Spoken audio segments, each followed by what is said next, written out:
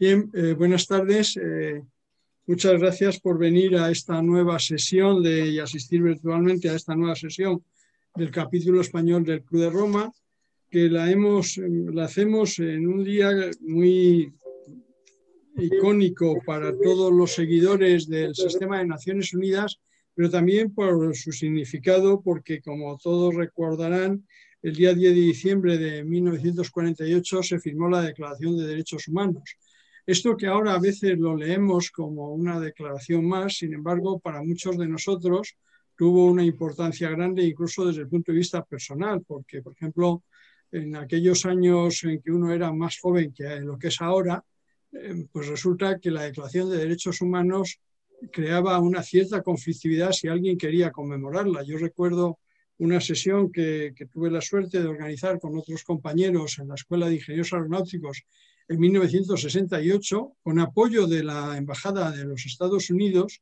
y el director de la escuela, que era una bellísima persona, pero que era un militar, estaba mm, preocupadísimo porque aquello debía ser un acto subversivo. Por más que le decíamos, oiga, si es que hasta la Embajada de los Estados Unidos nos ha dejado los vídeos de la marcha de Joan Baez, aquellas marchas sobre derechos, ¿no? Esta situación, gracias a Dios, ha cambiado en nuestro país, pero no ha cambiado en otras zonas del planeta. Y sobre todo nos encontramos con una situación donde el sistema de Naciones Unidas se ve desbordado por la cantidad y la complejidad de los asuntos sobre los cuales tendría que actuar. El Club de Roma nació, y bien lo sabe Federico Mayor, que lo conoce mejor que yo, eh, nació con la voluntad de trabajar por el desarrollo humano tuvo la suerte de encontrarse en el camino con el informe de los límites al crecimiento y muchos nos asocian a temas medioambientales o de sostenibilidad, entendida solo en su aspecto medioambiental. Pero lo cierto es que el club nace pensando en el desarrollo humano y pensando en la gobernabilidad de los asuntos de la humanidad.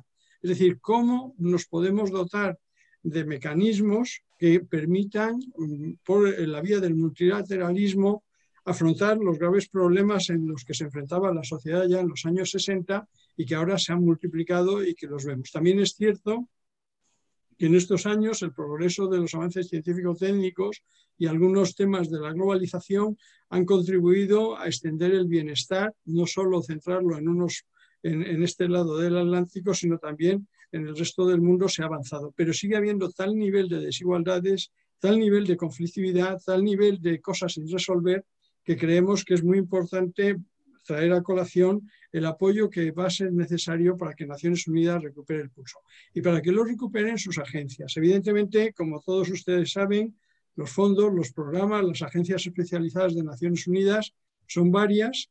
Muchas de ellas pasan dificultades presupuestarias graves, muchas de ellas tienen dificultades para cumplir sus objetivos, pero son básicas para ese desarrollo humano. Y por eso a nosotros nos parecía que el capítulo español del Club de Roma debería cerrar el ciclo de, actividades en torno al, el 75 aniversario de Naciones Unidas con una sesión trayendo cuatro agencias, cuatro, un fondo y dos programas y una agencia que de alguna manera eh, están vinculados a temas muy relevantes. No hemos querido traer los temas de la OMC, no hemos querido traer los temas de ANUR, no hemos querido traer los temas del programa de medio ambiente porque, o del programa de desarrollo humano, porque estos los tratamos a veces en otras jornadas. De hecho, hemos hecho recientemente un tema sobre la COVID y el desarrollo humano hace, me parece que tres semanas pero sí creemos que volver a repensar el papel que juega la UNESCO, y aquí tenemos la suerte de contar con uno de los directores generales más eh, interesantes que ha tenido esta organización, o tenemos al presidente de UNICEF España, viviendo en un momento que han sacado un pacto sobre la educación y que nosotros quisiéramos con ellos eh, generar una serie de sesiones para hablar de lo que puede suponer la exclusión a la hora de privar de educación a niños y de marginar a las personas y no hacerlas partícipes del desarrollo. Y luego tenemos con nosotros a María Jesús Herrera de, la Organización de Migraciones y, cómo no, tendríamos que acabar en este año que se cumplen los 25 años de la, de la Declaración de Pekín hablando de ONU Mujeres, a pesar de que sea una agencia muy reciente de, creada en 2010. Este panel es un panel magnífico, yo me callo ya, no voy a decir nada más, seguramente diría alguna tontería. El profesor mayor lo mismo me bajaría la nota, me diría que que voy progresando, pero que últimamente estoy un poco eh, deficiente en mis intervenciones y entonces, por lo tanto, les dejo a ellos la palabra y eh, después de agradecerles tanto a ustedes que asisten virtualmente como a ellos que ah, se, prestan a este debate. Así que, don Federico, tiene usted la palabra y eh, cuéntenos cómo ve usted la situación de UNESCO, que nosotros la vemos muy preocupante, pero que sin embargo pensamos que es una organización fundamental para el desarrollo humano. Muchísimas gracias. En primer lugar, quiero subrayar lo que acabas de decir. Creo que es un acierto que de todas las instituciones, agencias, fondos del sistema de las universidades, has elegido al que se dedica a la infancia, que es lo más importante que tenemos, la infancia, después a la igualdad y a las, las, migraciones, que es fundamental. Es decir, que creo que has elegido muy bien. Una vez más, pues uh, pondero uh, tu organización. Uh, después quiero decir que por qué hay estas agencias, estos fondos y estas organizaciones. ¿Por qué? Pues porque Roosevelt, Roosevelt lo que pretendía cuando en aquella situación terrible después de una guerra con genocidio, con holocausto, Roosevelt lo que pretendía era que por una fuera posible que la fuerza se sustituyera por la palabra, que la razón de la fuerza se sustituyera por la fuerza de la razón. Y para eso pensó que eso solo lo podían hacer los pueblos, eso lo podía hacer solo la gente. Por eso es una organización realmente multilateral, pero pensando mucho más allá de los estados y de los gobiernos. Y la prueba es que la Carta de las Naciones Unidas comienza así. La Carta de las Naciones Unidas comienza diciendo nosotros los pueblos. Nosotros los pueblos hemos resuelto evitar a las generaciones venideras el horror de la guerra. Fíjate qué maravilla. Esto es lo que ahora tendríamos que pensar. ¿Quién lo puede hacer? Nosotros los pueblos. ¿Por qué? Pues porque tenemos que pensar, tenemos un deber de memoria con las generaciones venideras. Y la única manera de hacerlo es precisamente a través de esta cercanía a la gente con la participación popular. En aquel momento creó, entre otras, la UNESCO y la UNESCO es uh, muy curioso porque desde el primer momento fue la que uh, pensó Roosevelt, el grupo de Roosevelt, que podría, mejor que los demás, uh, poner en práctica lo que era fundamental, que era cambiar, como os digo, la razón de la fuerza por la fuerza de la razón. Y entonces por eso dijo, que la UNESCO era la organización que tenía encomendada elevar los baluartes de la paz en la mente de los hombres, de los seres humanos. Es decir, que teníamos esta misión. Bueno, yo os quiero decir una cosa. La UNESCO viene de uh, educación, ciencia, cultura, comunicación y uh, fijaros que tiene, yo lo recomiendo al mundo porque a mí me inspiró mucho, el que se lean el uh, preámbulo y el primer párrafo, el primer artículo de la Constitución de la UNESCO. ¿Por qué? Fijaros lo que dice. Dice que lo que tenemos que hacer es elevar los baluartes de la paz, que tenemos la humanidad, dice, tiene que estar guiada por los principios democráticos. Es que es fundamental. Es que en estos momentos lo que tendríamos que hacer es releer estos documentos. Los principios democráticos, dice, de la libertad, de la justicia y de la solidaridad pero añade solidaridad intelectual y moral. Necesitamos que no sea solo una solidaridad material, sino intelectual y moral. Y después el artículo primero, fijaros que dice, UNESCO tiene que garantizar la libre circulación de las ideas por la palabra y por la imagen. En, una, en, resumen, esto está hablando de la libertad de expresión y de la libertad de circulación de cualquier opinión y de cualquier manera de pensar. Pero después dice algo que es fundamental. En un momento en que estamos todos hablando de educación eh, y fiándonos de lo que nos dicen instituciones económicas, las instituciones económicas que hablen de economía, pero que no se metan a decir qué es lo que tenemos que hacer en educación. Y nos dicen, estos niños deben aprender más inglés o más mm, química. No, esto no es educación, esto es capacitación. No tienen ni idea de lo que es educación. Educación, dice la UNESCO, los educados son los que son libres y responsables. España ya tuvo la suerte en el año 1876 de tener a un gran pedagogo, don Francisco Giner de los Ríos, que decía, educación es dirigir la propia vida. Fijaros qué maravilla, propia vida. Si las soluciones no están fuera, las soluciones están dentro. Y lo que tenemos que hacer es esto, es ser libres para dirigir la propia vida. Y educación es aprender desde el primer momento las, lo que son las facultades distintivas de la especie humana. ¿Cuáles son? ¿Por qué cada ser humano es una maravilla? ¿Por qué yo tengo esperanza?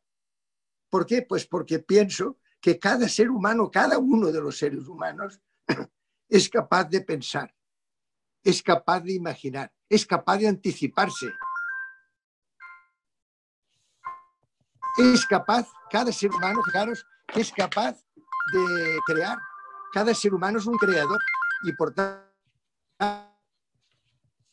al ser, tenemos esperanza. Sabemos que podemos cambiar, que podemos reconducir los rumbos actuales. Esto es lo que yo creo que debemos de una organización como la UNESCO. Educación para ser libres y responsables, para el pleno ejercicio de las facultades distintas. Y para eso lo que necesitamos es filosofía, enseñar filosofía. Y lo que necesitamos es ser creadores, necesitamos inventar el futuro, necesitamos más enseñanzas artísticas. Yo recuerdo que en el año 1991 pedía entonces presidente de la Comisión Europea, el señor Jacques Delors, que presidiera una comisión mundial de pedagogía para eso, para decir qué es educación para todos a lo largo de toda la vida. Porque eso de que la educación es una cosa de los niños, no, no. La educación es de todos durante toda la vida.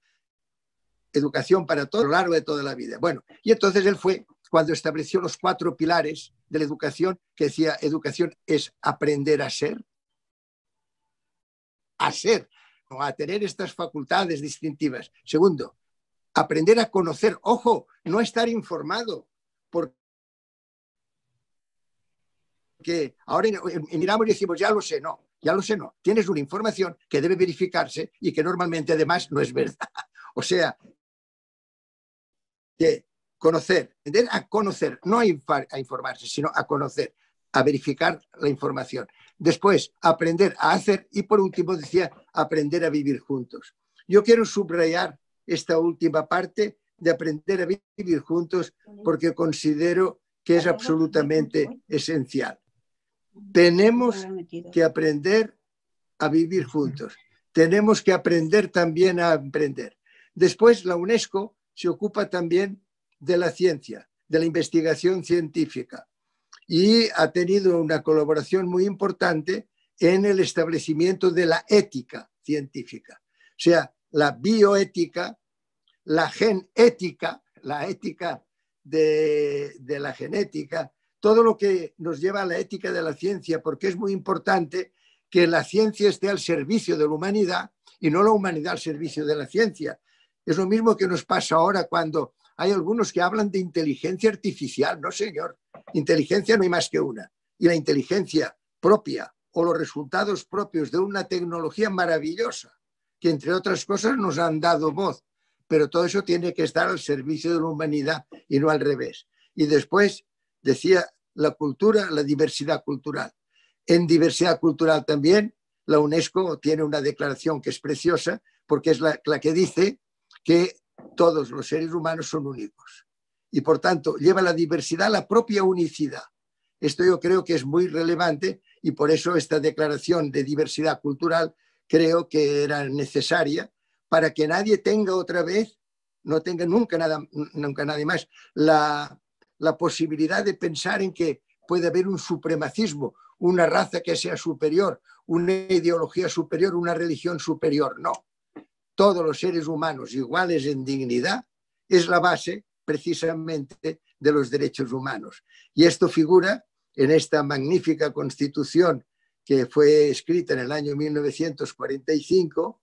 La UNESCO fue aprobada muy pocos meses después de las Naciones Unidas en San Francisco y que están entre los otros, entre otros autores está Archibald MacLeish. Hay grandes pensadores en aquel momento que intervinieron. Educación, ciencia, cultura y, decía antes, comunicación, porque va, es esencial para la paz, es esencial escuchar al otro, es esencial el encuentro, es esencial la conciliación, la mediación, es decir, la palabra. Y bueno, yo con esto quería decirles que parece ser que estaría todo resuelto, ya tienen ustedes qué maravilla de UNESCO, todo el mundo a favor de la UNESCO, todo el mundo aplaudiendo, informándose de lo que la UNESCO dice sobre educación y no de lo que dicen entidades, como les decía antes, mercantiles. Pero el sistema al igual que la UNESCO, ha tenido siempre, ha contado siempre con la animadversión declarada, declarada del Partido Republicano de los Estados Unidos. Pero desde, esto ya viene desde el año 1919, cuando la Liga de Naciones. Pero ahora ya concentrándonos en el sistema de Naciones Unidas actual, pues ha pasado lo mismo. Ha pasado lo mismo. Yo recuerdo cuando a, eh, a finales de 80, cuando había aquella maravilla de, de un Nelson Mandela y de un Gorbachev, y decíamos, bueno, ya se ha acabado la Guerra Fría, ahora sí, ahora la UNESCO, ahora las Naciones Unidas, ahora UNICEF. Y el señor Reagan dijo, no, no, ahora el G6. y claro, hubo seis países que en realidad uno, esto no lo digo yo, lo dijo muy bien el profesor Carrillo Salcedo, y entonces la verdad es que se arrinconó por Naciones Unidas, se marginó. Eh, los Estados Unidos se retiraron de la UNESCO acompañados de su acólito habitual, el Reino Unido, se retiraron, después volvieron, pero ya volvieron diciendo que, ojo, que no iban a pagar, Después el señor Trump se volvió a marchar a las Naciones Unidas y en realidad ha dejado de pagar y se ha marchado, como ustedes saben, de la Organización Mundial de la Salud y de la UNESCO.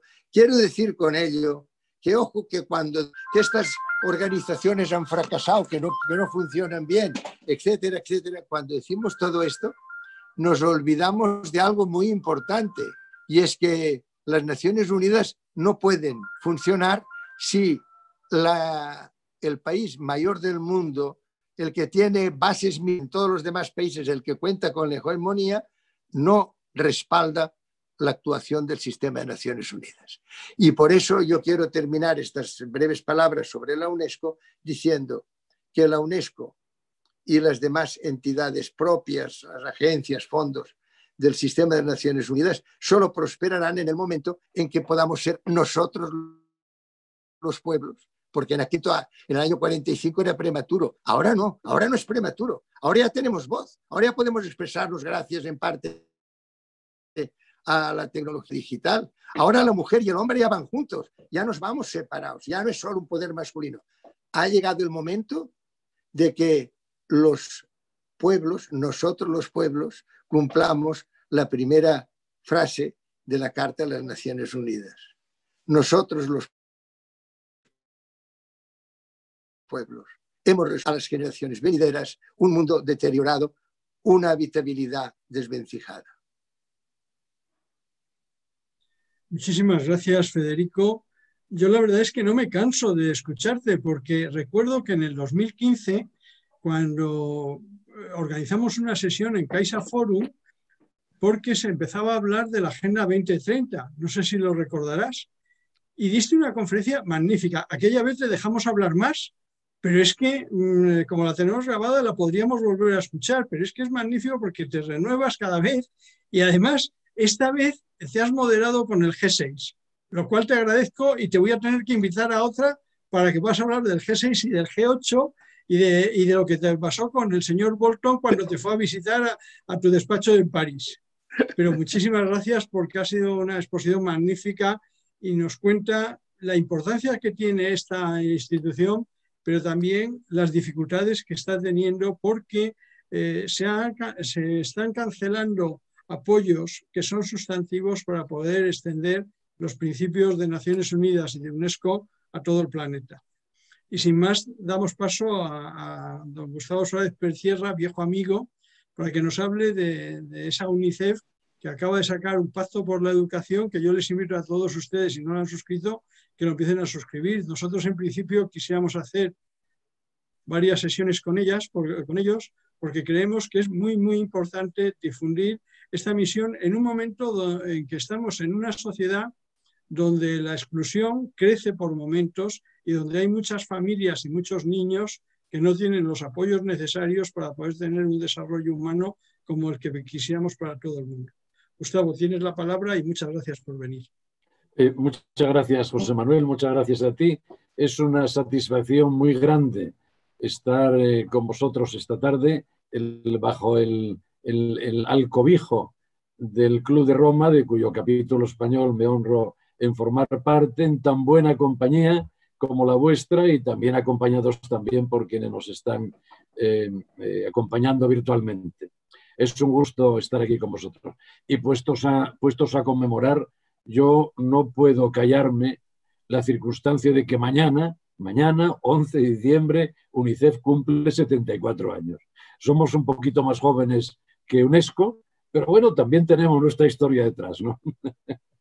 y, por otra parte, el, eh, tomando pie en, lo que decía Federico y antes eh, había apuntado también José Manuel Morán, em, yo quiero también decir que soy consciente de que corren malos tiempos para el multilateralismo, em, especialmente significado en Naciones Unidas. Creíamos todos y defendíamos todos hasta que llegaron estos nuevos esquemas de gobernanza o de no gobernanza, porque tampoco parece que sirvan eh, para demasiado. Eh, hay, que, hay, que, buscar fórmulas nuevas eh, para fortalecer el multilateralismo, para fortalecer la Organización de Naciones Unidas. Naciones Unidas se ha dicho que habla a través de sus agencias, de sus fondos, de las organizaciones, eh, y de la acción. Eh, pues bien, eh, yo creo que organizaciones como la que represento, pero también como las que representáis, las que están representadas esta tarde con nosotros, tienen mucho que decir en orden a este fortalecimiento del multilateralismo que se refleja en Naciones Unidas. ojalá en el futuro seamos capaces de recuperar este, este pulso que hizo nacer a aquella organización de la que la Carta de Naciones Unidas decía, eh, lo he buscado ahora, ahora cuando estaba hablando Federico, eh, preservar a las generaciones futuras del flagelo de la guerra, que también es una frase eh, muy redonda y, y, hermosa. El UNICEF nace hace 74 años para salir al paso de los problemas que en relación con las enfermedades o con eh, la alimentación o con otras inseguridades eh, padecían los niños y las niñas europeos en la posguerra mundial. Pero al cabo de dos años ya estaba UNICEF haciendo programas en, Asia, ya estaba trabajando en Palestina.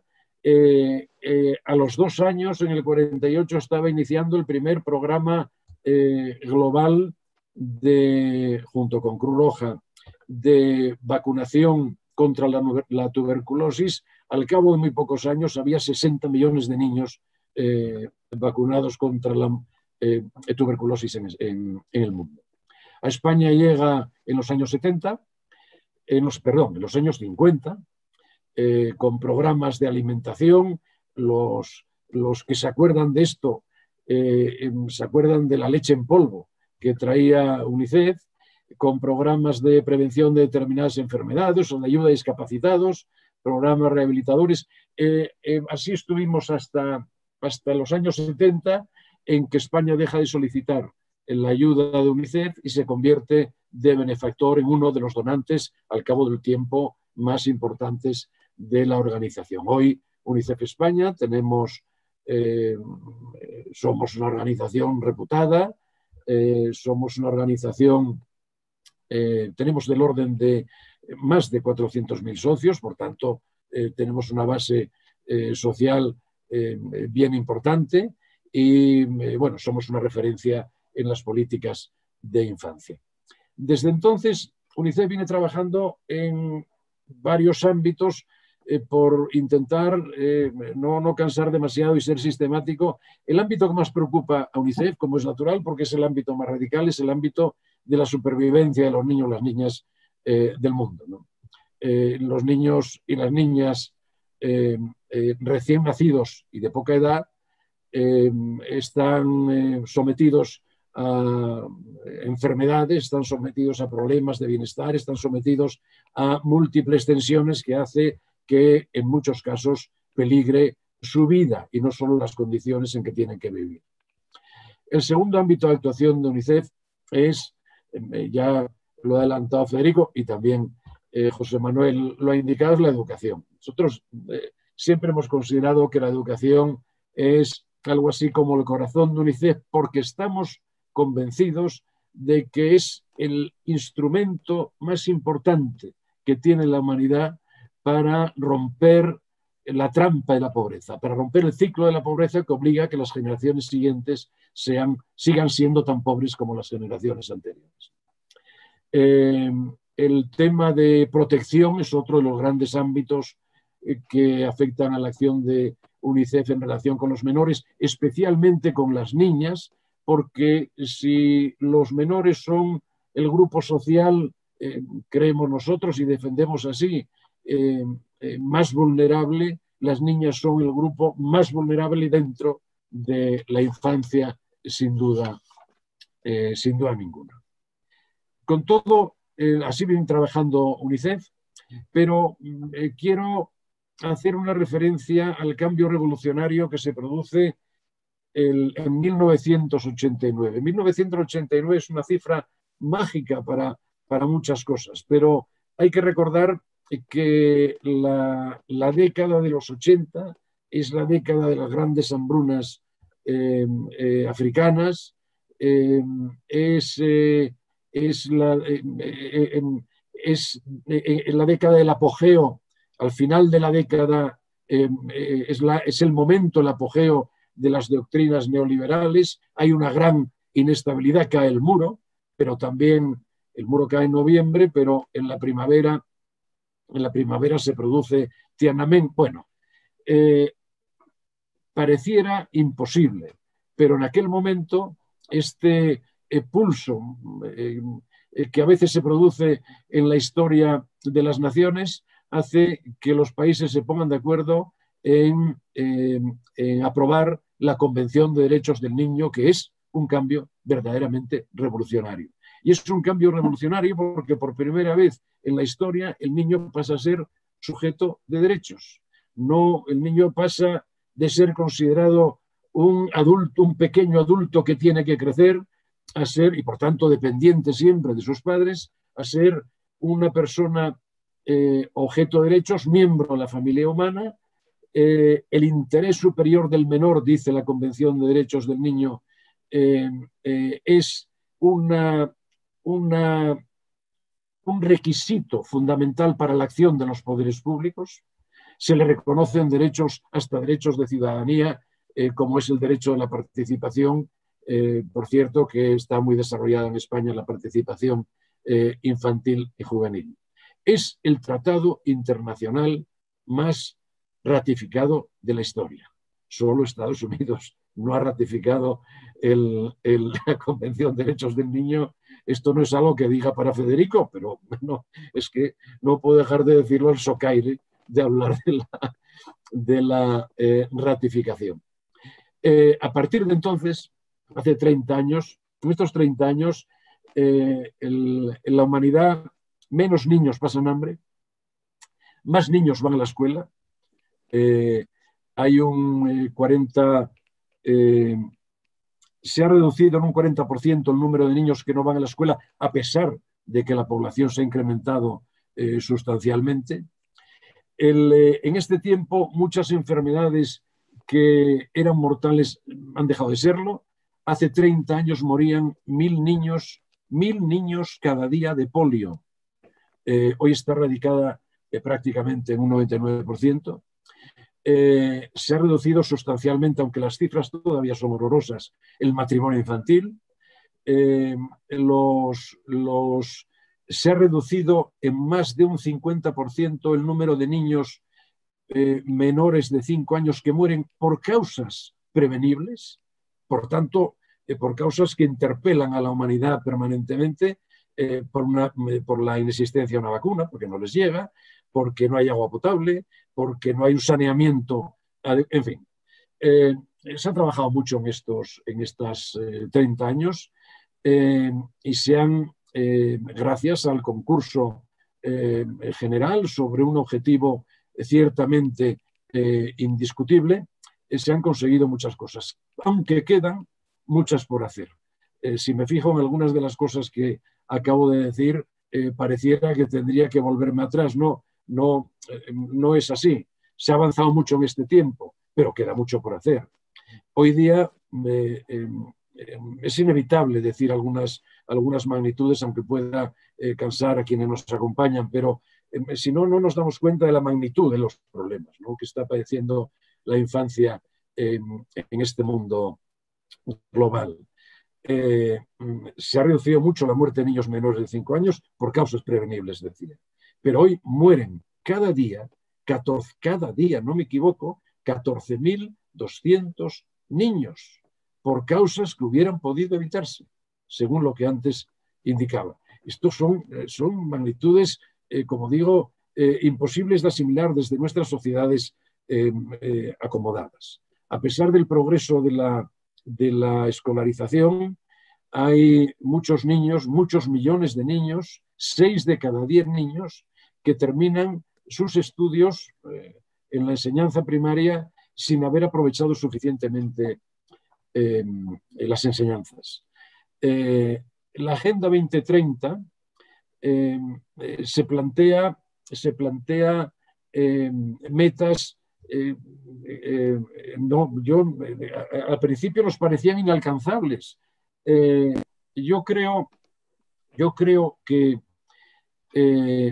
hay que poner de manifiesto, y todavía no estoy hablando del COVID, ahora me haré una referencia a esto, hay que poner de manifiesto que en el pre-COVID muchos pensábamos que algunas de las metas previstas, por ejemplo, en el ámbito educativo, no iban ya a poder ser cubiertas para eh, el año 2030 en que termina la hoja de ruta. Por tanto, quedan, eh, por supuesto, muchas cosas por hacer. Y esta situación se agrava con la pandemia. Eh, em, estamos sufriendo como humanidad los efectos de la pandemia, pero los efectos de la pandemia nuevamente, aunque no sean sanitariamente el grupo social más afectado, los niños, los menores, ciertamente, pero los efectos de la pandemia sobre la infancia y la adolescencia van a ser verdaderamente eh, eh, importantes.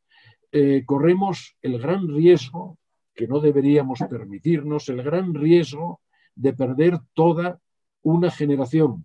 Y la pandemia solamente lleva un año sentada entre nosotros. Corremos el riesgo de revertir todas estas o parte de estas acciones que se han producido eh, gracias al esfuerzo de todos en los últimos 30 años. Eh, el 90% de los eh, escolares han sufrido el cierre de las escuelas. esto para los países desarrollados tiene unas consecuencias que hemos visto en España. en España, lo que nos ha enseñado la pandemia con el cierre escolar, creo yo fundamentalmente, es la gravedad de nuestra, de la desigualdad que se ha instalado en la sociedad española, la brecha digital, eh, etc. Pero es que en los países de desarrollo, eh, el cierre de las escuelas significa que muchos millones de niños no tienen acceso a una comida saludable en el día, que, muchas, eh, que se incrementa sustancialmente, tenemos los datos, el trabajo infantil, que se incrementa, eh, por tanto, eh, se revierte la, curva que estábamos, eh, que veníamos analizando desde hace 30 años en sentido contrario, el matrimonio infantil. ¿Por qué? Porque la escuela es la única barrera que se opone a estas gravísimas circunstancias tan enraizadas en la cultura de algunos pueblos. Corremos un grave riesgo con, en el caso de la pandemia. El tema de las vacunas es un buen ejemplo eh, los, sistemas sanitarios eh, tan precarios y tan frágiles eh, de los países en desarrollo han dejado, han tenido que dejar de preocuparse de la prevención, por tanto, de las vacunas, en supuesto que les llegaran, en supuesto, han tenido que dejar de preocuparse de eso para pasar a eh, preocuparse del diagnóstico y tratamiento de la pandemia. estas son situaciones eh, que eh, debieran hacernos pensar muy especialmente en este momento. yo creo que este es el desafío que tenemos por delante. Me parece que frente a esto no hay más solución que más cooperación, más compromiso entre todos los actores que ya, no son, que ya no son solo los estados. Esta es una de las grandes novedades de los últimos 75 eh, eh, años de eh, vida de Naciones Unidas. Hoy los grandes grupos industriales, los grandes grupos de comunicación, las grandes fundaciones sociales son actores tan relevantes para el desarrollo de los pueblos, eh, como son eh, en muchas ocasiones los estados. Precisamente por esto es por lo que hay que potenciar, me parece, la acción de estos eh, organismos por los que habla, a través de los cuales habla Naciones Unidas, porque son organismos que tienen una reputación asentada, porque son organismos que pueden llegar a todas partes y porque trabajan con objetivos indiscutibles, sobre los cuales el bienestar de la infancia, la protección de las migraciones, la educación, la ciencia, la cultura, eh, el cuidado de la diversidad.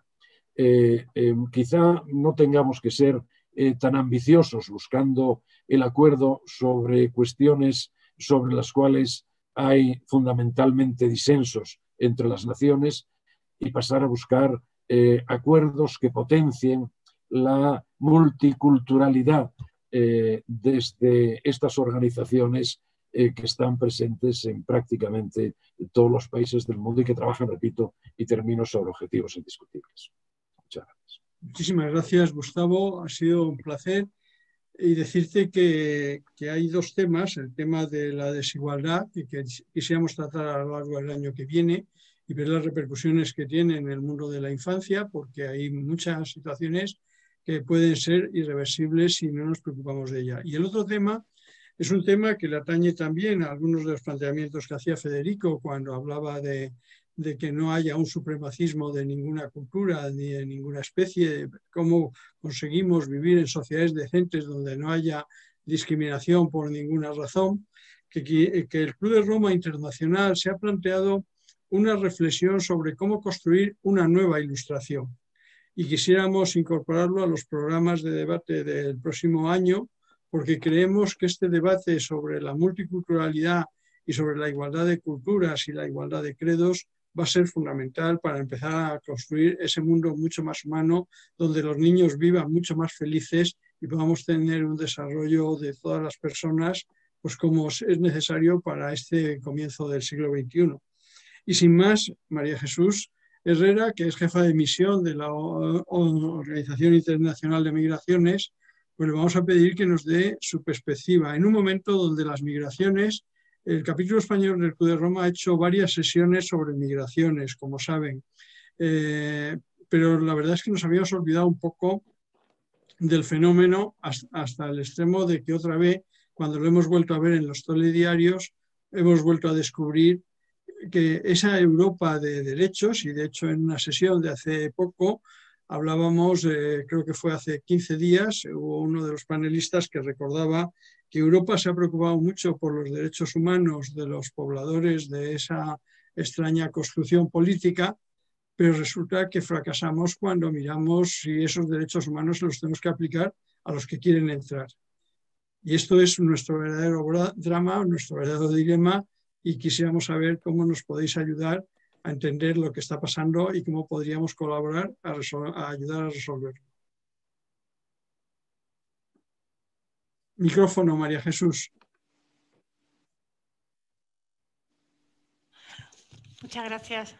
José Manuel, y buenas tardes. Muchas gracias al Club de Roma por la invitación y sobre todo por, dejarme compartir eh, esta, esta tarde con, personas tan prestigiosas y sabias como, como las que están aquí.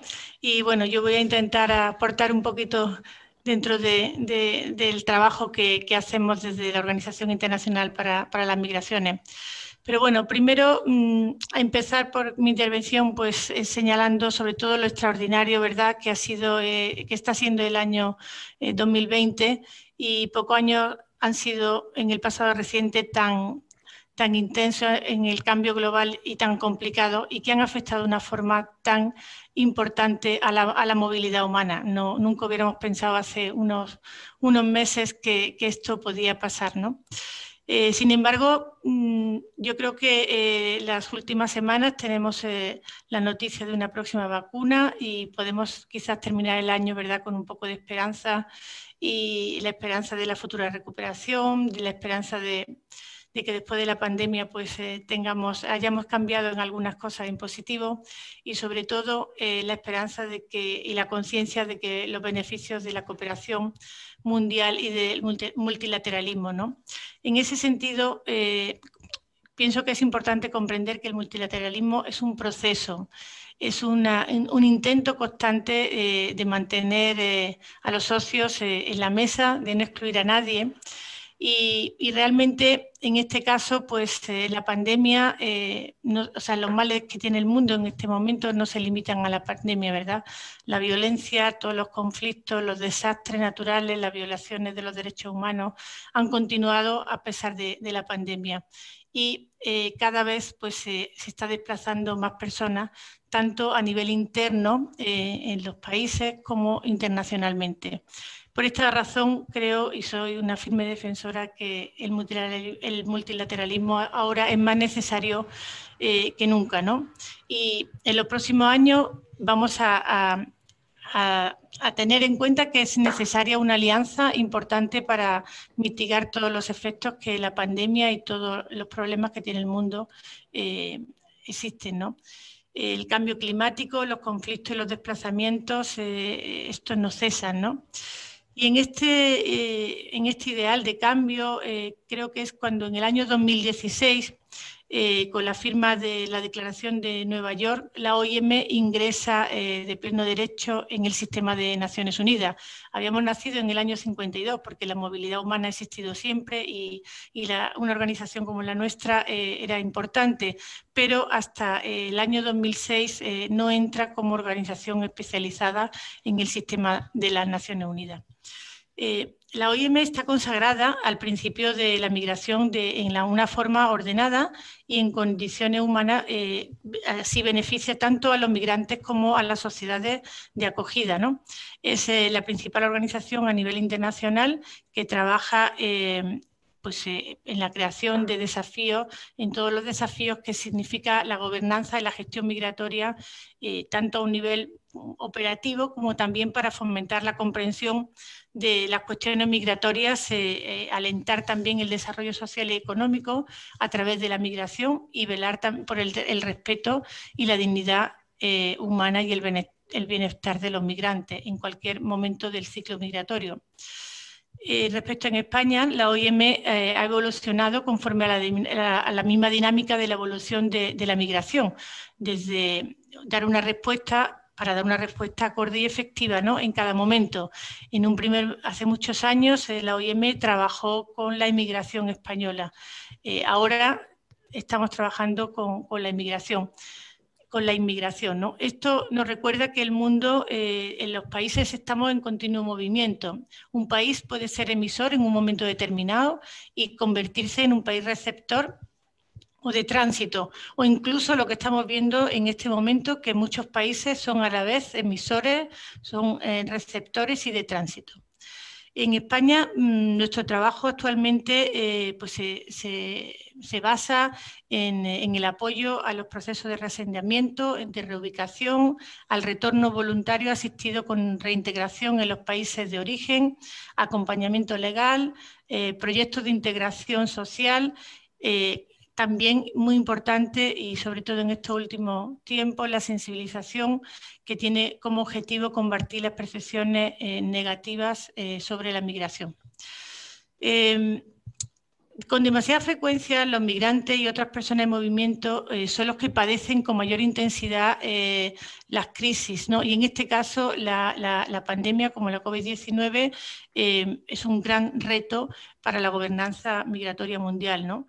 Esto queda en evidencia en el contexto actual en el que, por ejemplo, pues estamos viendo cómo a día de ayer, eh, las cifras de llegadas de, inmigrantes a través de la ruta atlántica, estamos llegando a cifras de 21.000 inmigrantes en Canarias, ¿no? que en su mayoría pues, atraviesan una ruta muy peligrosa en la que en este momento podemos decir que hay 588 muertes o desapariciones constatadas, que significa como mm, menos casi de un tercio de lo que seguramente eh, es la realidad. Y estas personas se están huyendo de la pobreza, del desempleo y se han visto realmente eh, mucho más agravadas por la pandemia eh, mundial. ¿no? Lo que quieren básicamente son buscar mejores oportunidades en España y en Europa y, definitivamente pues es muy importante en este momento la cooperación europea con los países de tránsito y de origen para poder superar la situación actual o por lo menos eh, mitigar los efectos de esta situación. ¿no? Em, también quería destacar que los migrantes en, el mundo en general pues son personas, eh, es la personificación de la resiliencia, ¿no? el sentido de la familia, el espíritu emprendedor, que quizás son las claves del siglo XXI.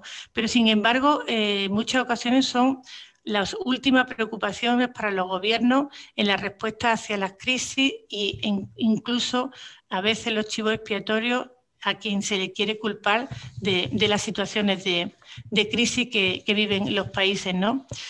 Pero a pesar de esto, mm, hay que ser optimistas, ¿no? Y hay que, eh, hay que, hay que pensar que, en el plano internacional, en el, en el plano multilateral, eh, las migraciones están empezando a tener un papel. Hasta hace poco era una cuestión de que cada Estado eh, tiene su propia gobernanza migratoria y sin embargo cada vez más se ha visto, se pone de relieve que es necesaria tener una gobernanza global. ¿no? Eh, Aquí vemos que se ha producido un cambio muy importante, un cambio sustancial en el, marco de Naciones Unidas, cuando por primera vez la migración se incluye como uno de los objetivos de desarrollo sostenible en, la meta 10, 7 y a finales, eh, o sea, ya en el año 2018. ¿no? Y la, Asamblea de Naciones Unidas eh, aprueba el Pacto Mundial en el final del 2018 y en el que, en el, que el Pacto Mundial para la Migración Segura, Ordenada y Regular. Eh, quiero destacar que, se hizo tal día como, hoy. Eh, es un pacto que quizás para muchos eh, ha sido un poco decepcionante, no para nosotros. Creemos que es un pacto que no es vinculante, está firmado por más de 168 países y tiene 23 objetivos en el que implica una serie de compromisos en la implementación de esos objetivos por los, por los países eh, firmantes. ¿no? estos instrumentos eh, confirman que es innegable la relación entre movilidad humana y, desarrollo sostenible. ¿no? El Pacto Mundial para la Migración mm, reconoce que la protección de los migrantes más, vulnerables es necesaria, los menores no acompañados, las mujeres, eh, los niños, especialmente las víctimas también de explotación y violencia sexual, y solo es posible esta, esta, este esta protección cuando existe una cooperación clara entre los países de origen, tránsito y destino. Sin esta cooperación es imposible el poder, eh, digamos, acompañar a, estas personas y tener una, una, protección mm, basada en, los principios de los derechos humanos.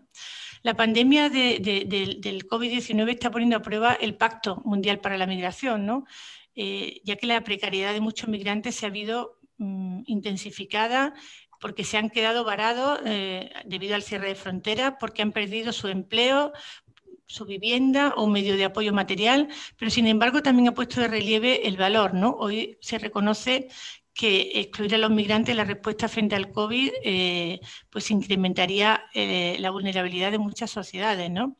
Y muchos países han, respondido positivamente al reducir el número de detenciones, regularizar eh, situaciones jurídicas de, los migrantes, prolongar los visados para que puedan permanecer en países.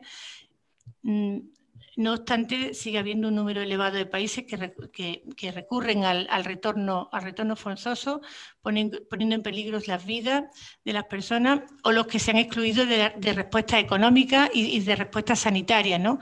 Como, como señalaba eh, el secretario general de Naciones Unidas, nadie está a salvo hasta que todos estemos a salvo. ¿no? Mm, también es verdad que tenemos que destacar que, ha habido también algunas respuestas positivas, ha habido una visibilización mm, del trabajo que hace la migración. Eh, claramente en España hemos visto a los inmigrantes en primera línea en los supermercados, en, la sanidad, en el cuidado de las personas, en, eh, las actividades agrícolas y realmente pues, eh, pues se han ayudado a, pasar de una forma más a mitigar los efectos de, esta situación. ¿no? Eh, y en este respecto, a fin de cumplir el objetivo central de la Agenda 2030, de, no dejar nadie atrás, es necesaria una intervención eh, decisiva de las autoridades locales, de las nacionales, de la sociedad civil y de todo el sector privado en una acción conjunta. Necesitamos eh, un programa inclusivo en el que nadie se quede atrás y que la discriminación, el acoso eh, queden fuera. ¿no? La recuperación desde nuestro punto de vista eh, económica y social está muy vinculada a, la movilidad humana y a escala internacional y desde luego también en, nuestro país. ¿no? La pandemia ha puesto de relieve pues, todas las contribuciones, como decía antes, ¿no? de, los migrantes eh, en primera línea, todas las contribuciones positivas a las sociedades. Y desde la OIM creemos que la migración eh, debe conciliar la necesidad de permitir movimientos transfronterizos que, eh, pues eso, que, no esté vinculado al miedo y a la percepción negativa de esta movilidad. ¿no? Los sistemas de control de frontera, el transporte, las normas de migratorias, todo esto tienen que incorporar, como hemos visto también, requisitos sanitarios y establecer infraestructuras necesarias para la acogida.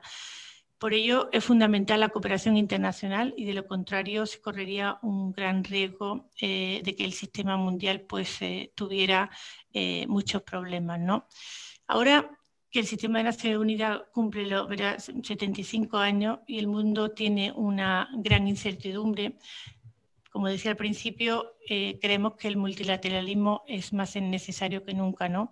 La forma que reaccionemos en los próximos meses determinará la profundidad de, los impactos de, esta, de la pospandemia y tenemos que redoblar nuestras acciones, eh, nuestro trabajo para que se mitiguen estos, estos, estos efectos a corto, eh, a medio y también a, largo plazo. ¿no? Del mismo modo que también debemos reconocer entre todos que la movilidad humana puede ayudar a la recuperación de los países debemos tener la vista en el horizonte, asegurando que el discurso sobre la movilidad humana se mantenga en políticas migratorias que beneficien a, toda la sociedad. ¿no? Desde nuestro punto de vista, pues eh, tenemos que las acciones como las que se están realizando en, intentamos que en, los países en los que trabajamos, y en este caso en España, poniendo nuestro grano de arena para, apoyar las acciones que, de mitigar todos los, problemas que está produciéndose en este momento, pues eh, tenemos que trabajar para que estas acciones sean eficaces y beneficien tanto a los países eh, de origen, a los países de tránsito y a los países de destino, ¿no?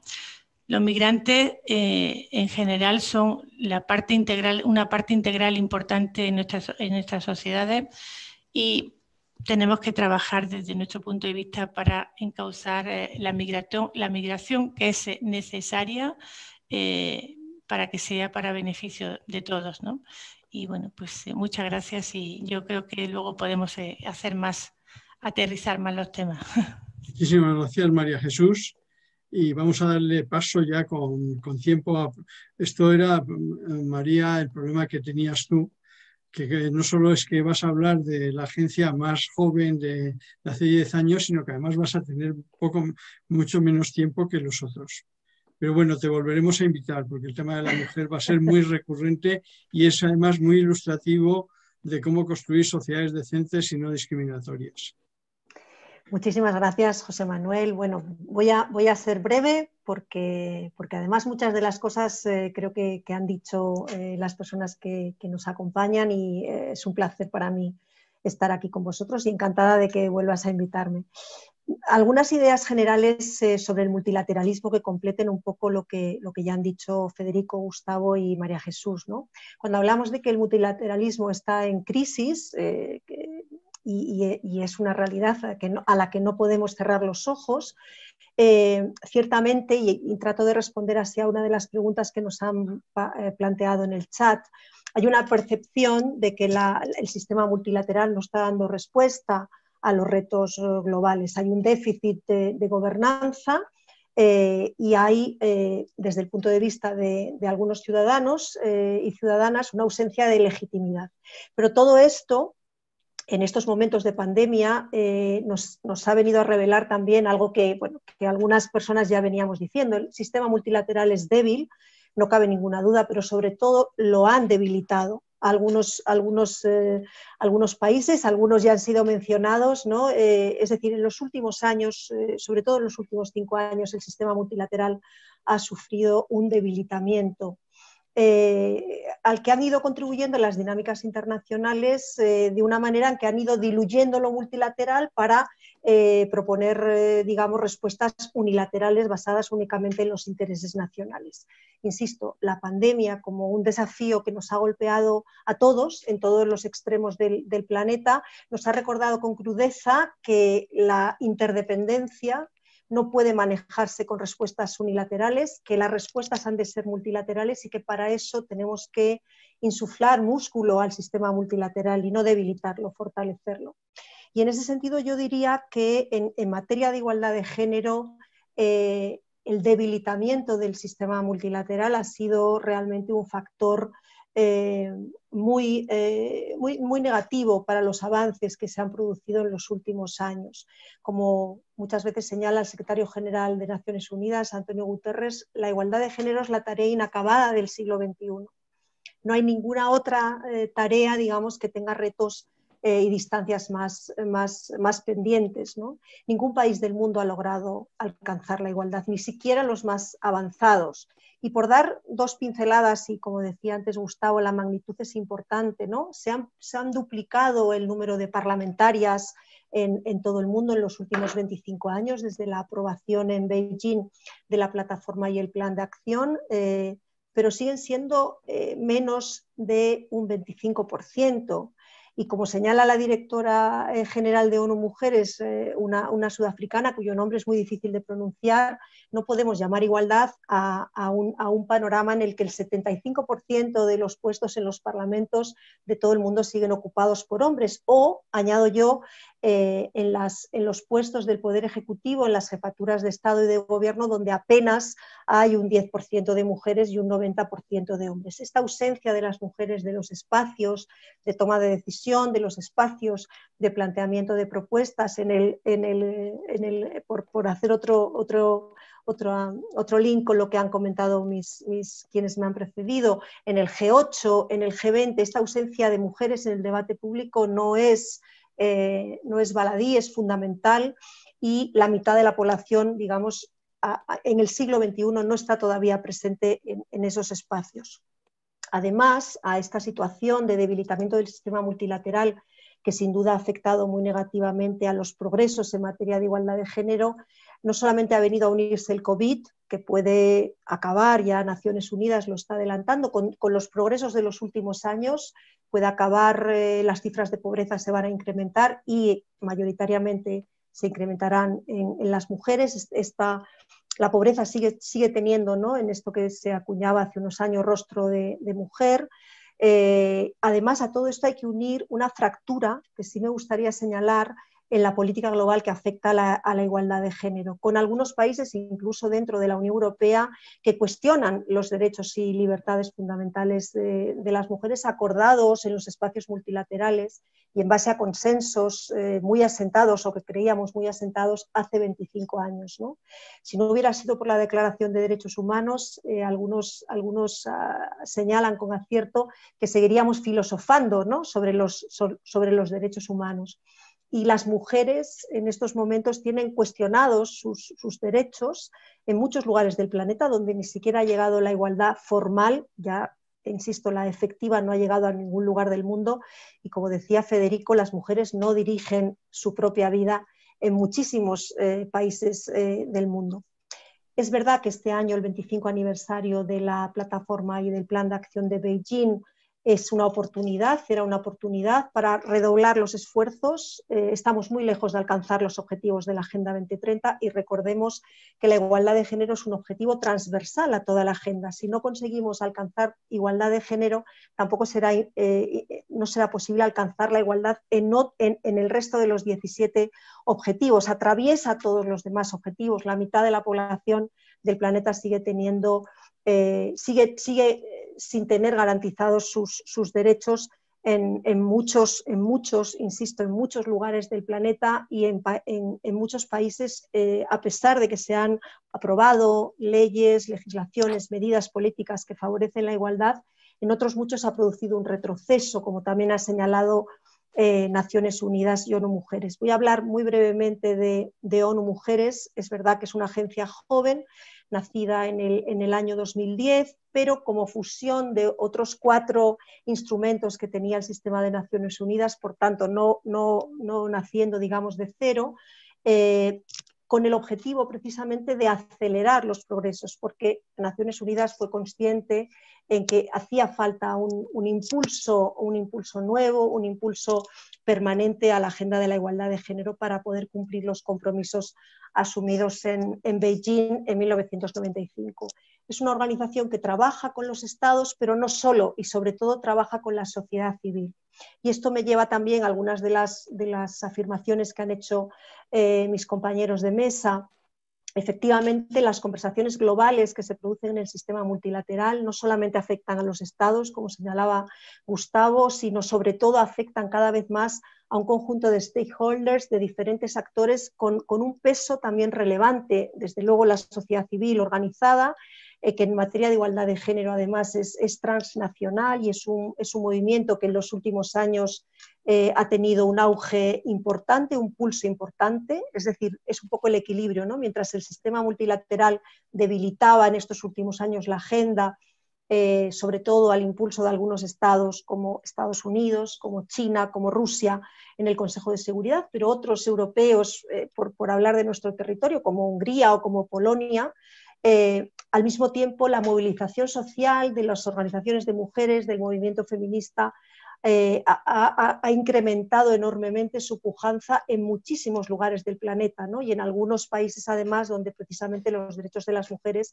eh, digamos, no están, no están garantizados. Y en ese sentido, ONU Mujeres creo que juega un papel fundamental no solamente para mantener esa conversación global, no solamente para mantener los estándares y las normas globales en materia de igualdad de género tan importantes en los tiempos que corren y que, como se ha señalado hoy, justo leía un artículo de la ministra González Laya al respecto del papel de España en el Consejo de Derechos Humanos, que acaba ya su, mandato, y subrayaba de nuevo ¿no? cómo se ha intentado socavar eh, algunos, algunos derechos eh, de las mujeres que se pensaban ya consolidados. En este sentido, ONU Mujeres mantiene ese pulso, ayuda a los estados a que esos estándares y normas globales encuentren su traducción en legislaciones, en políticas públicas y sobre todo mantiene también el nexo con la, con la sociedad civil, que, que en esta agenda es, es fundamental me gustaría muchísimo seguir, seguir hablando, pero, pero José Manuel me está mirando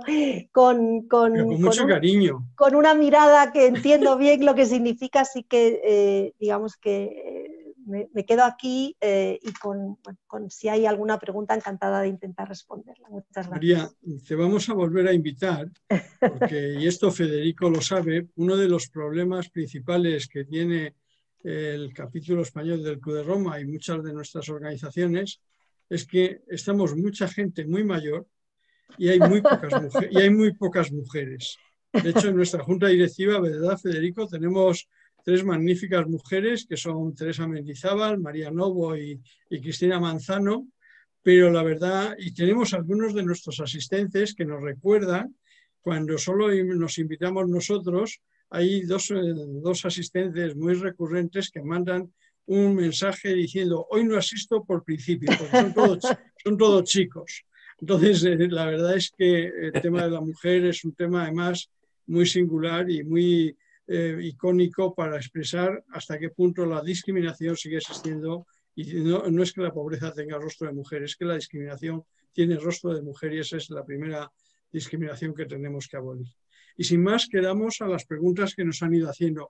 Eh, quiero decir, de las preguntas que, que, os han dirigido y que están en el chat, hay una primera pregunta de, de Emilio que habla de la OMS y hace unas consideraciones que a nosotros nos gustaría ver en un debate más abierto. No la vamos a contestar porque hoy no tratábamos de la OMS, pero tampoco tenemos unos criterios para los argumentos que él plantea, que son argumentos de creer que la OMS ha actuado negligentemente por favorecer a China. Esto a veces lo hemos oído en algunos ambientes norteamericanos, pero nosotros no tenemos ningún criterio para poder contestar en este momento. Sí es un tema, hemos hecho muchas sesiones sobre la COVID y sobre el tema, ayer misma hicimos una sesión sobre vacunas y es un tema que retomaremos en su momento sobre la eficacia de la OMS o de otras organizaciones a la hora de gestionar la pandemia pero creo que no es el momento de este debate el que podamos responderte, Emilio, y entonces te convocaremos a la próxima vez que hablemos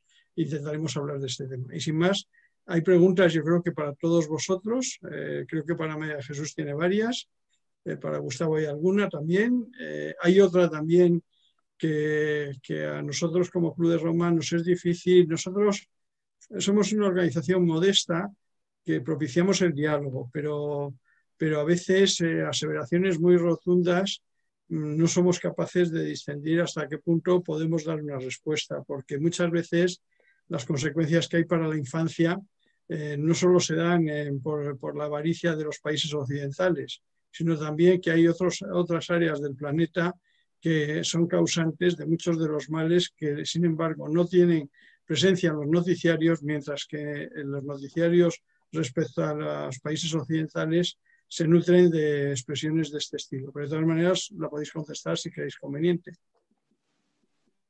Pues nada más, ¿quién empieza? No sé si María Jesús ha visto sus preguntas o... Sí, sí, las he visto. Sí. Si quieres rápidamente, intento contestarla.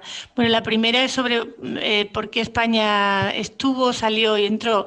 Bueno, yo pienso que, es claro, es porque en, hasta el año 79 era un país de emigración eh, era importante que estuviera ahí y luego pues eh, son decisiones que se toman eh, a nivel del Estado, que no sé por qué se decidió que, salieran, pero me imagino que ya la emigración paró en España y en el año 2006 sí es cuando volvió a tener España como un país receptor, o sea, hasta el 79 era un país emisor y a partir del 2006 volvió a ser, a ser un país receptor de migración. Y entonces a partir de ese momento pues es porque se decidió, me imagino, eh, volver a, la OIM, a ser un miembro de pleno derecho. ¿no? Eh, había otra pregunta que sobre eh, la dotación del pacto. El pacto para migraciones no tiene dotación económica para su implementación, son los propios países los que tienen que hacerlo eh, con lo cual, pues, eh, pues es un instrumento que a la vez eh, también es un compromiso de cada uno de los países de, poner en marcha los 23 objetivos, que son muy abiertos porque son, tengan en cuenta que el fenómeno migratorio no es lo mismo para un país emisor de tránsito receptor y ahí están incluidos los 23 objetivos, pero son los propios países los que fundamentalmente tienen que dotar la implementación de, y el seguimiento de, de este pacto, ¿no? Eh, la OIM tiene la Secretaría General Técnica de, de, del Seguimiento. Y luego también me preguntaban sobre qué herramientas estamos utilizando y cómo es eh, la jornada, la sensibilización. Nosotros estamos eh, trabajando con, con, la sensibilización en, con las administraciones públicas, con jornadas con los los ayuntamientos, a nivel de trabajadores sociales, policías, para también universidades, eh, la administración pública en general, también con sociedad civil. Eh, también hemos empezado a un proceso de sensibilización importante sobre, eh, con las empresas sobre contratación ética y sobre todo nuestro objetivo es también que comprenda, eh, cómo que se comprenda la emigración desde el punto de vista no solo de, la recepción del país emisor, sino, sino, también el origen de la migración, por qué la gente emigra y cuáles son las circunstancias que hacen que, las personas tomen esa decisión. Gracias. Luego hay eh, una pregunta que yo creo, Gustavo, que va más dirigida a ti. ¿Cómo creen que impactará la COVID en el abandono escolar? y también para Federico, o sea, cualquiera de los dos.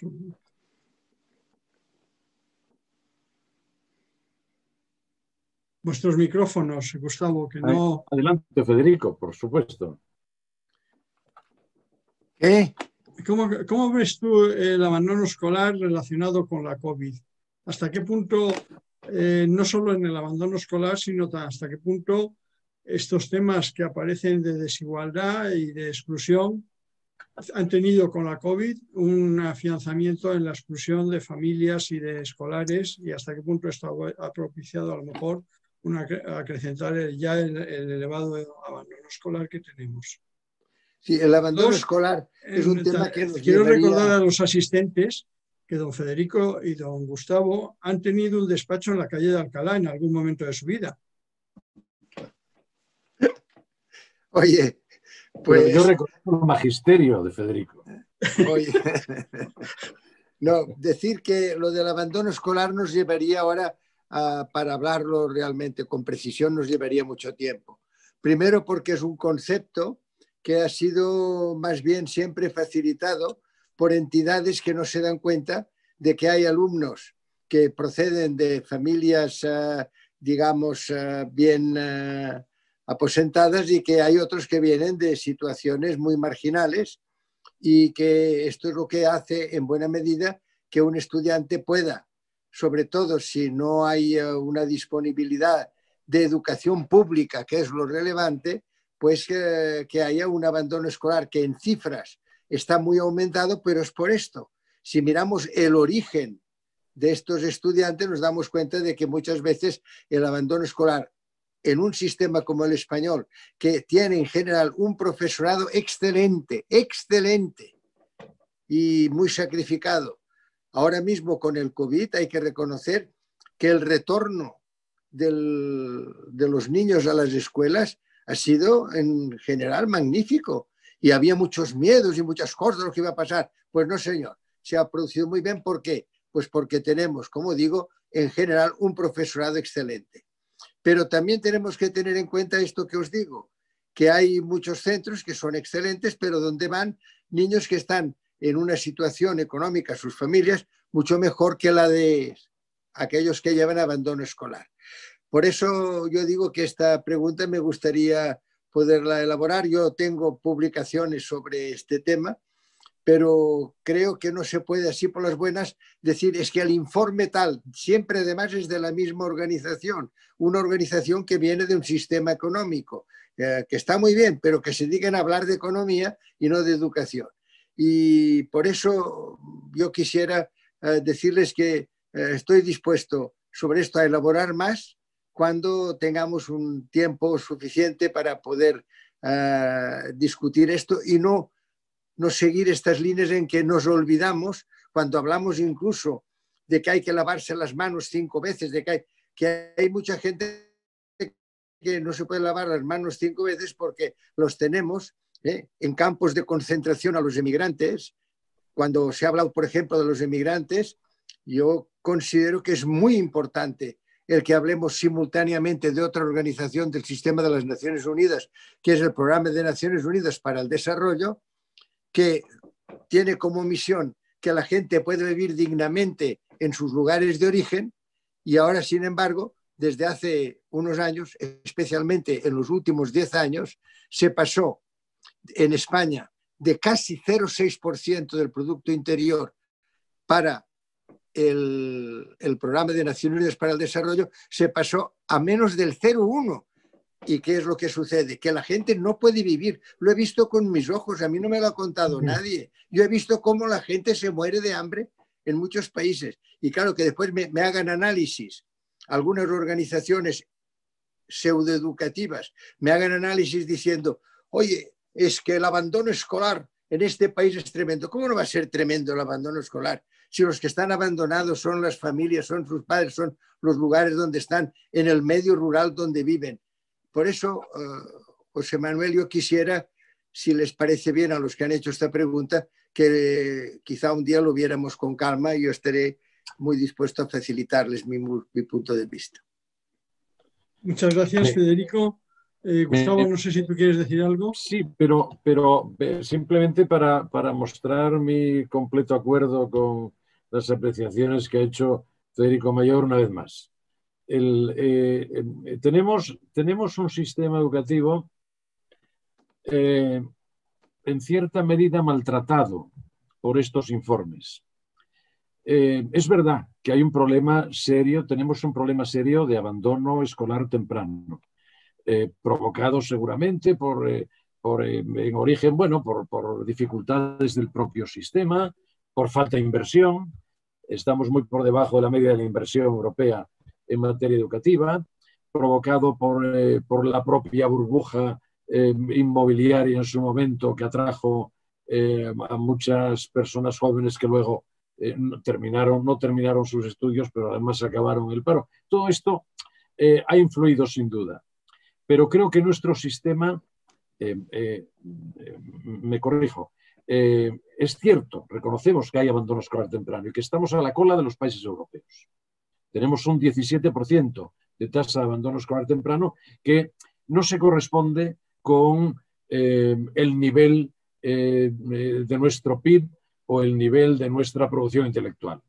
Por tanto, ahí hay, un problema que está detectado. Pero eh, eh, me gustaría ser complementario a lo que ha dicho Federico en el sentido siguiente.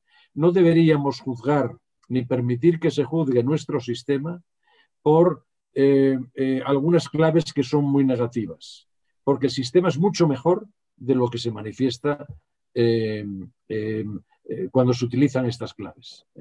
Bueno, ahora tenemos una ley nueva, tenemos viene dinero, eh, bueno, vamos a ver si, entre unas cosas y otras eh, hemos encontrado la vía para intentar solucionar este tema, que es uno de los temas que lastran nuestro sistema sin duda ninguna. Cuando se habla de abandono escolar, nos tienen que decir si es un centro público o concertado, si es un centro del medio rural o no, si es un centro del sur de, o de, los, de las partes, digamos, desde un punto de vista social menos uh, favorecidas o no, porque es que si no, no tiene sentido. Muchas gracias a los dos muchas gracias. Hay dos o tres preguntas más, pero que yo creo que podríamos eh, resumirlas. Hay una que plantea, y esto Federico, tú has hablado mucho, incluso Naciones Unidas te encargó en su momento intentar un, una actualización del modelo de gobernanza de Naciones Unidas. Yo creo que hiciste una serie de planteamientos, pero mm, el problema es que si los países que siguen estando teniendo una posición de privilegio en el Consejo de Seguridad no quieren, es muy difícil plantear un avance hacia un multilateralismo mucho más participativo y no tan condicionado por ese núcleo que, que viene de la Segunda Guerra Mundial y que se mantiene ahí. Yo no sé si, Federico, si tú quieres decir algo, si hay alguna novedad en la actualización de, de la gobernanza de Naciones Unidas eh, o si quieres recordar los trabajos que hiciste hace unos años al respecto. No, yo efectivamente, yo replanteaba que ahora sí, ahora ya se puede decir nosotros los pueblos porque ya nos podemos expresar, porque ya hay progresivamente una igualdad de participación y eh, me refiero a igualdad de género fundamentalmente, ya tenemos la posibilidad y por eso yo replanteaba el que pusiéramos ahora nosotros los pueblos y que fuera la Asamblea General de las Naciones Unidas tuviera ah, un 50% ah, de estados y un 50% de participación de la sociedad civil. Pero que además del, del Consejo de Seguridad hubiera un Consejo de Seguridad socioeconómica, no económico y social porque si empiezas por lo económico nunca llegas a lo social. El fracaso de ECOSOC es que empieza solo y se queda en el eco y nunca llega al SOC. Bueno, pues que fuera un consejo socioeconómico y también un consejo medioambiental. Ahora es fundamental porque aquí tenemos el problema de la irreversibilidad. Bueno, todo eso lo propuse en su momento, parecía muy bien, pero claro, lo que hablábamos antes, hubo un momento en que había en las Naciones Unidas el grupo de los 77 y el grupo de los no alineados, que había gente representando, era un poco los pueblos, ¿verdad? Pero después esto ha ido desapareciendo y aquí no hay más que el G7, el G8, el G20, que son los que mandan, y esto eh, le quita en estos momentos un papel. Yo por eso acabo de presentar, tú lo tienes, porque además me, me dices que te pareció bien, tengo este joint call diciendo a los 75 años de haberse fundado las Naciones Unidas, es el momento de volver a tener unas Naciones Unidas fuertes y democráticas y tal. Bueno, pero una vez más, aquí tenemos que reconocer que, empezando por Europa, Europa, que era un ejemplo de democracia, era un ejemplo de derechos humanos, era un ejemplo de solidaridad, hoy es un ejemplo de insolidaridad. Ahí están los que mueren ahogados en el Mediterráneo. Es un ejemplo, sobre todo, de contrario al multilateralismo, porque tú sabes que en las Naciones Unidas hay cinco países que tienen veto. Sobre 196, cinco tienen veto.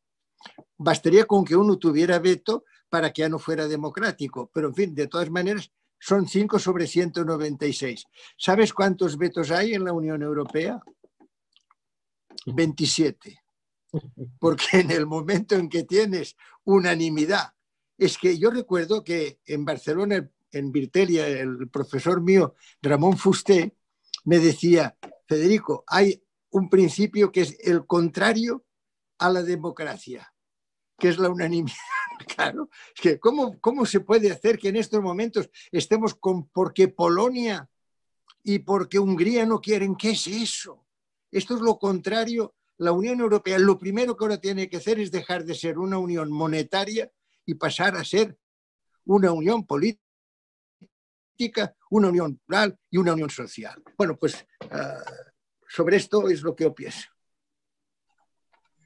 Tenemos que ir acabando. Hay dos o tres preguntas más. Voy a intentar resumirlas y al mismo tiempo advertirles que el capítulo español del Club de Roma en estos meses, desde que volvimos a retomar las actividades, nos planteamos que las sesiones de este año 2020 fueran un prólogo de otras sesiones que vamos a desarrollar y algunas de ellas van a ser migraciones, algunas de ellas va a ser que de hecho el lunes vamos, hemos convocado en una sesión cerrada a una serie de expertos en educación para ver cómo podíamos desarrollar una serie de sesiones sobre el futuro de la educación. No aspiramos a hacer una iniciativa tan magnífica como la que hizo el profesor Mayor Zaragoza cuando le encomendó a Jacques Delors la publicación de aquel informe de la educación encierra un tesoro, que fue un libro magnífico y que se lo pueden eh, recuperar. Es, casi tan bueno como el Aprender Horizontes sin Límites del informe Club de Roma de 1979, pero eh, vamos a intentar hacer eso. El otro tema, nos hacen una pregunta sobre la desigualdad. Nosotros queremos, eh, el otro día hemos hecho una sesión sobre la desigualdad y la COVID y con FUNCAS, con un socio institucional nuestro, al cual asistió Cáritas y con Cáritas y con otra, con Cruz Roja, vamos a intentar planear una agenda para hablar de lo que significa la desigualdad y cómo la, la COVID-19 está incidiendo muy negativamente y afianzando la exclusión social que ya se padecía en este país, pero que también afecta al resto del mundo. Y en ese sentido,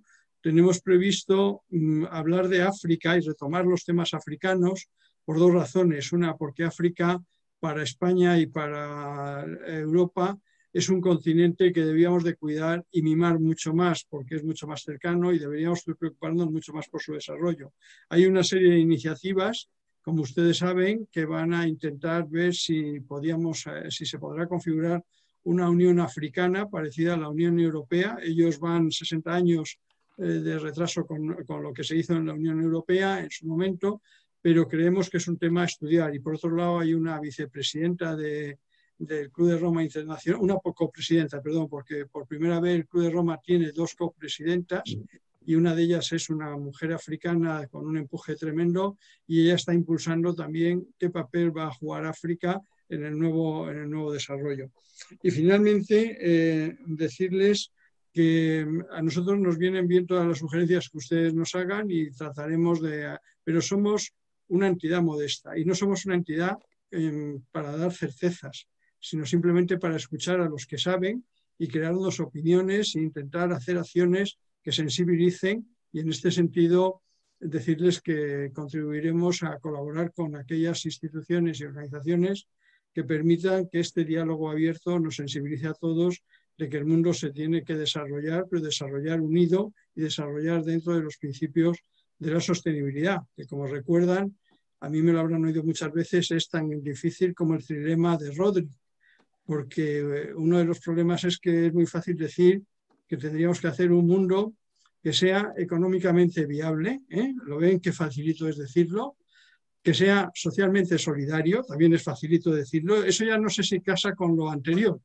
y luego que sea ecológicamente perdurable. dice, vale, ahora intente poner usted eso sobre la, sobre la mesa y empiece a hacer cuentas de resultados para empresas o empiece a ver cuentas en los presupuestos generales de los estados para ver cómo casa usted eso. Es casi tan difícil como el dilema de Rodri, que ya saben que le dieron este año el premio Príncipe Princesa de Asturias y que lo que primero que dijo es quizá nos debíamos de preocupar por el desarrollo de los bienes públicos más que por hablar de estas cosas de si la globalización avanza o retrocede.